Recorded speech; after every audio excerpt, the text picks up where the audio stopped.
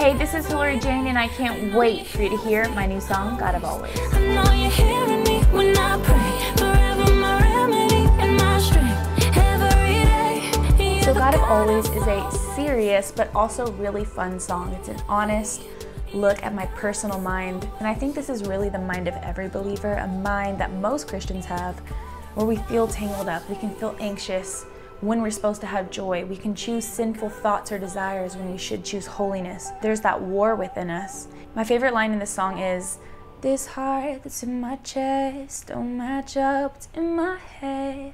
I don't wanna do this without you.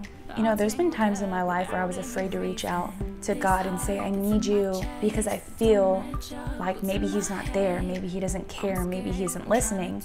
But that obviously isn't the case whenever we look at Scripture. Scripture reassures us in Romans 8:1 that there is therefore now no condemnation for those who are in Christ Jesus. That means if you are watching this and you are saved and you are a child of God and you are in Christ, God now and always will look at you with the righteousness of Jesus Christ. That's what salvation is, right? That we were not righteous before God, but Jesus gives us his righteousness. And now, whenever God looks at us, we can have fellowship with him, we have a relationship with him, and nothing is going to make that go away. God of Always, at the apex of the song, in the chorus, is really just about celebrating the realization and the promise that God is the God of always. He's never going to leave us.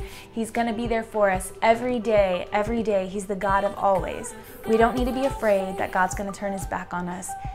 We are in his hand, and like scripture says, nothing is going to pluck us out. I hope that whenever you listen to the song, you just feel free. You just realize the promise of scripture and you believe it and you walk in it and you feel confident in God and you just feel joyful. And it just makes you want to live for the Lord and love God. So that's my prayer with God of Always if you haven't heard it yet. Go listen to God of Always, watch the music video, and share it with a friend.